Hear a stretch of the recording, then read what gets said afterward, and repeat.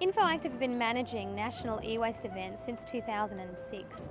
To date, we've run approximately 11 events and have collected, just on those weekend events, approximately 1,500 tonne of e-waste. So a very successful avenue whereby the community can come and drop unwanted items and dispose of them in an environmentally friendly manner.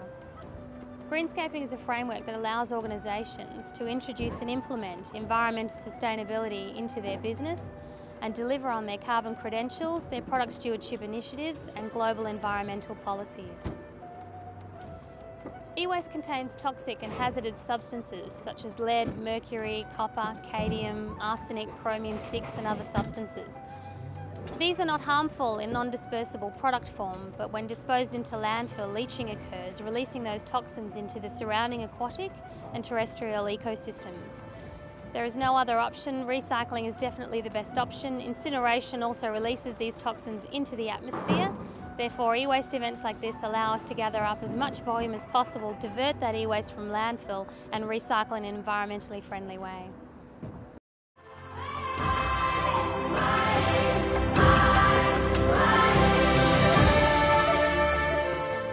This is a great uh, idea and it should be done twice a year. It's free, it usually costs a lot of money. And by doing something that we're doing today, we know that it's going to be properly recycled and not end up in landfill. And that's incredibly important in addressing our resource use, but also the big issue of addressing climate change.